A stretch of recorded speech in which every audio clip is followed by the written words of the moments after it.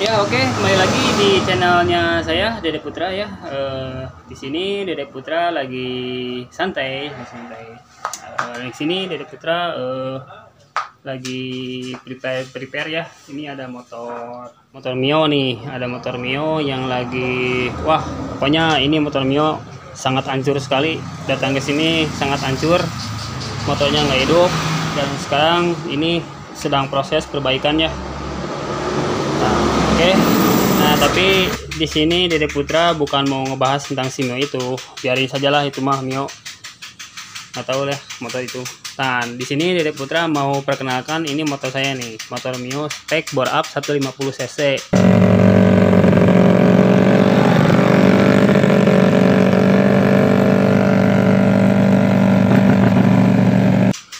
Yang dikasih nama oleh teman-teman yaitu namanya si Aden katanya.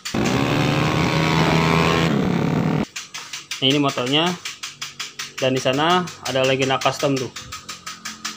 Ah, ini legenda custom GTX Dedek Putra. Oke.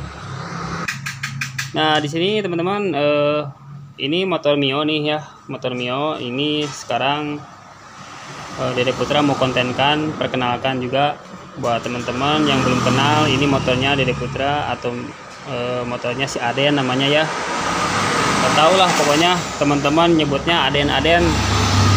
Ya jadi sekarang si Mio ini punya nama namanya Aden-Aden. Udah oke. Sebelum di sini Dede Putra rencana mau pengecatan ya. Di sini nanti Dede Putra mau rubah warna mau rubah warna. E, tampilannya kan sekarang lagi campur-campur nih. Ada yang warna putih biru hitam dan pelek juga hitam. Dan intinya mah uh, Dede Putra nanti mau bikin warna ciri khas lah intinya gitu ya. Dan di sini Dede Putra sudah beli warna-warnanya apa aja.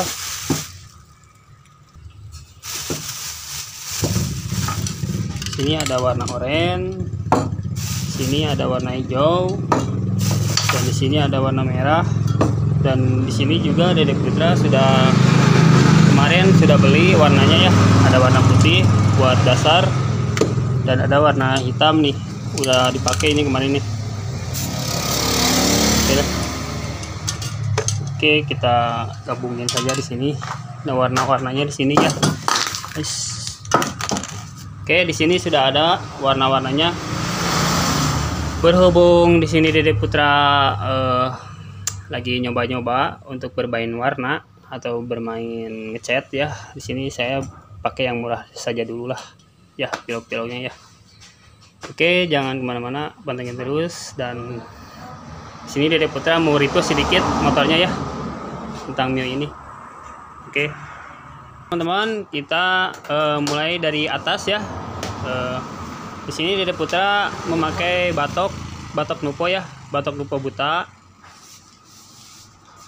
Dan di sini Dede, Dede Putra eh, sudah menggunakan po- formatter aki dan aki ini untuk mengukur atau mengetahui eh, tekanan aki atau ukuran aki eh, biar kelihatan ya sudah melemah atau masih bagusnya.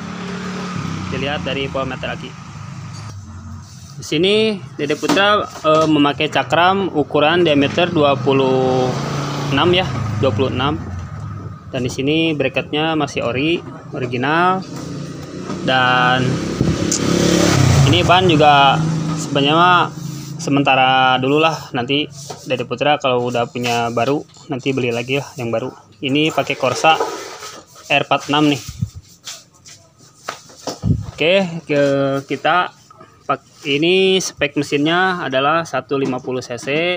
Eh, sehernya Dede Putra menggunakan 59 untuk klep menggunakan eh, klep 31 dan untuk in 31 untuk yang X nya menggunakan 27 Eh, Oke di sini magnetnya eh, sudah totalos dan di sini eh, karbunya Dede Putra menggunakan PE ya karbu PE 28 sini dia juga udah eh, memakai knalpot CLD Monster ya. CLD Monster.